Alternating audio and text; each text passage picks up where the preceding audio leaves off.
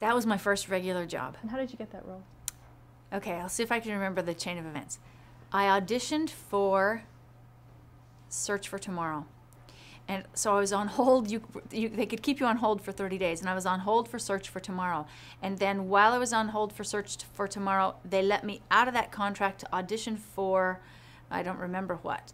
Um, I think it was I think it was days, and then I and then while I was while I had auditioned for that, um, Another World called. So I never actually auditioned for Another World. They just saw the tapes from the other shows, and so I just got a phone call that said, actually on a Friday night, that said, "You're starting work on Monday morning." Did you have any idea what the character would No, be? I had n- I had never read it or heard of it or anything. I pick I got my scripts mm, uh, when I when I got here and got to the hotel on Sunday.